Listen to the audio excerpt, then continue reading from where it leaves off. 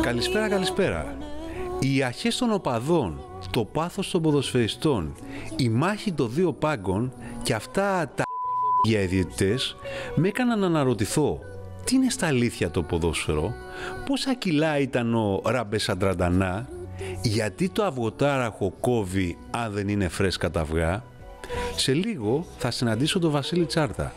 Πριν λίγο ολοκλήρωσε τον πανηγυρισμό του για τον γκολ του Χαριστέα στον τελικό του 2004 και ερχόταν με όρεξη και φρεσκάδα να λύσει όλες μου τις απορίες.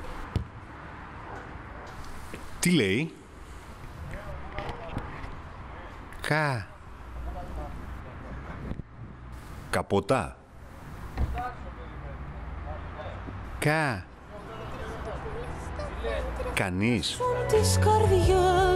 Ο ηρμός του Βασίλη Τσάρτα με έχει συνεπάρει. Οι λέξεις που σαν οπλοπολιβόλο ξέρναγε από τα χείλη του με έκαναν να αναρωτηθώ. Είναι το λαϊκότερο των αθλημάτων το ποδόσφαιρο; Γιατί όλα τα λάπτοπ έχουν τον ίδιο γραφικό χαρακτήρα; Ότι λάμπει είναι χρυσός ή φλωρινιώτης; Κα... Καρότο.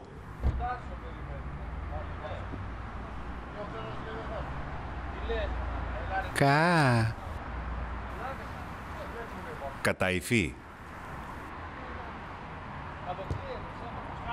Κα. Καναβουρί. Το σούρουπο σκέπαζε την πόλη όπως η Ελληνίδα μάνα σκεπάζει το 35χρονο μωρό της μη πουντιάσει και ο λογισμός μου κάλπαζε στα λιβάδια των υπαρξιακών αναζητήσεων. Είναι το ποδόσφαιρο βασιλιάς των σπορ. Τι βίσμα είχαν τα κουνούπια και μπήκαν στην κυβωτό του Νόε. Αληθεύει ότι ο Τσάκ Νόρις έχει πάρει γοργόνα στα τέσσερα.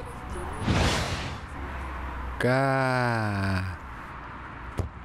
Καραβόπανο.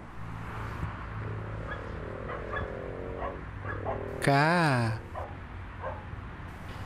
Καραπιαλής.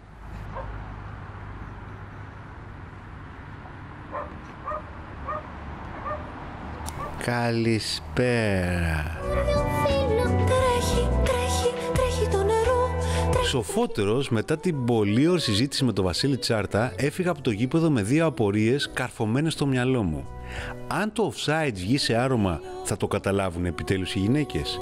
Όταν ο κύκλοπας ήθελε να κοιτάξει από την κλειδαρότρυπα, έκλεινε το μάτι του ή όχι; Τρέχει, τρέχει, τρέχει το νερό στο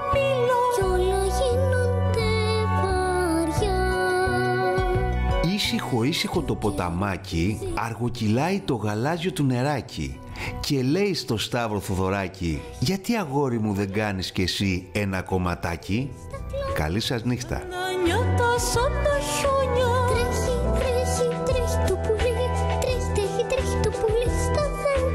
Ήσουν